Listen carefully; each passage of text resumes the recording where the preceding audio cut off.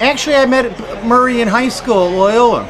One of my friends uh, that lived down the street from me when we moved to Wilmette from Rogers Park, um, he was a junior, I was a freshman, and my buddy's uh, older brother was friends with him. I met him a couple times. And actually, I was on a baseball diamond uh, with him in uh, Little League Uh, yeah. at Romer Park. It was awesome.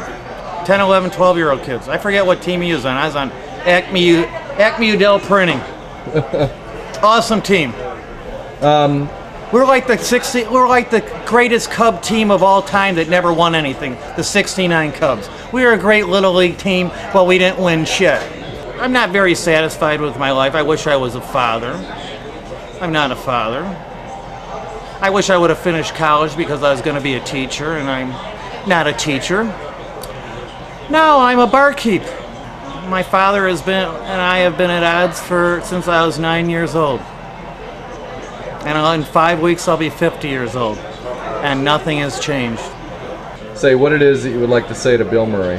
Are you going to be a jagoff all your life? If you can rock me, nobody will.